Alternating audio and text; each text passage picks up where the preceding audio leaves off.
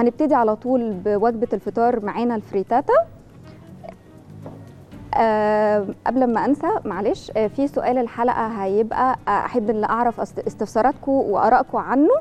آه، إيه أكتر وجبة بتحرصوا عليها للأطفال؟ آه، الفطار ولا الغدا ولا العشاء؟ يا ريت أعرف أنتوا إيه رايكم وإيه أكتر وجبة أنتوا بتهتموا بيها.